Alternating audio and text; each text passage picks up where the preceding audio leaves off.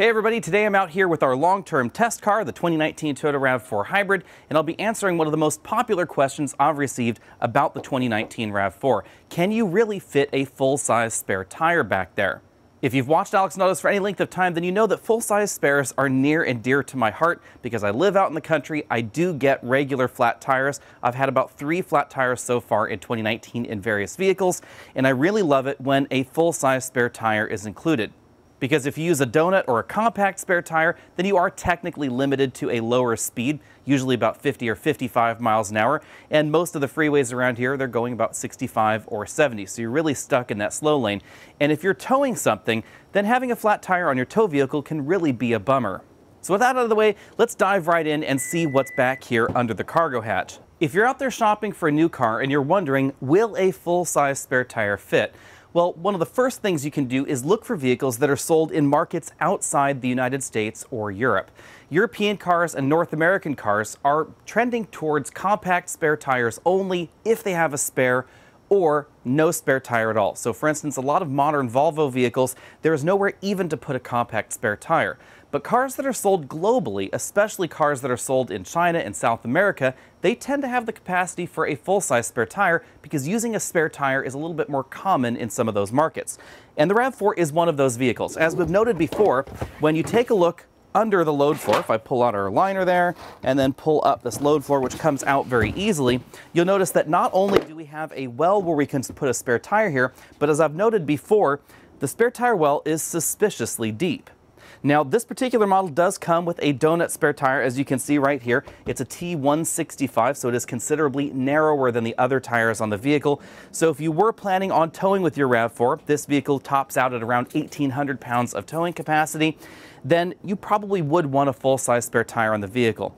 And I have one right over here that I was able to find on eBay. So I found a wheel that had been demounted from a RAV4. I got this one for 60 bucks. I paid $120 for this OEM matching Destination LE tire, and then about $20 to have the combination mounted. So let's see how well this fits in the vehicle. Overall, that's not a bad price, and I would argue that even if you have to go to a dealer and pay full price for a matching rim for your car, or if you could find a steel wheel, that might not be a bad deal. Obviously, we have the jack kit right there in the center. Go ahead and unscrew the temporary spare here. Then we simply lift the temporary spare tire right out of the way, right like that. I will just save that, so that way if we do sell this RAV4 later on, we can just include that. For some reason, Toyota includes this awkward little shim here, which causes the donut spare tire to be at a slight angle with the cargo area in the back. So I'll just toss those to the side and grab our new full-size tire right here. This does fit very nicely in the spare tire well, just as you can see right there. And the mounting hardware is exactly the same because the spare tire is upside down and most spares tend to favor the outside of the vehicle rather than being further inboard. So this was definitely destined to match right from the very beginning.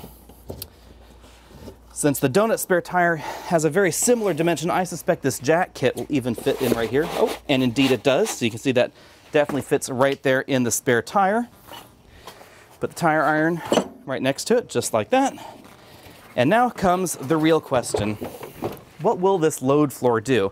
Now the RAV4 does have a two-level load floor, but obviously since we've put a larger tire in here, there's no hope of using the lower mode. However, as you can see right there, this is definitely designed for a full-size spare tire. Now, I asked Toyota about this. I sent in a question, got an official response, and Toyota says officially that a full-size spare tire is not supported because they don't support changing the vehicle in any way versus a factory car. However, this is a factory OEM wheel and the same tire that we have on the car, and very clearly it fits right there under the spare tire well. You can come in a little bit closer and see what's going on here. You can see that the load floor is perfectly flush with every side, including the back. Now there is a little bit of a raise up back there that you'll notice, but if you actually put cargo on there, it does end up going flat. And therefore we have absolutely no problem putting things like the factory floor mat right back in there, or even this aftermarket plastic liner everything fits exactly as it should. So for the moment, I'm just gonna hang on to this donut spare tire, and when we do sell this RAV4 later on, probably in about eight months or so, we will include both the full-size spare tire and this donut spare tire in case someone wants to downgrade. It's worth noting that in addition to losing this second stage of the load floor, you also lose the ability to secret away your tonneau cover using this little cubby right here. Because if you had a compact spare tire or no spare tire in here, this would fit right in that slot all the way across the back. You could put this roller cover completely under the load floor there.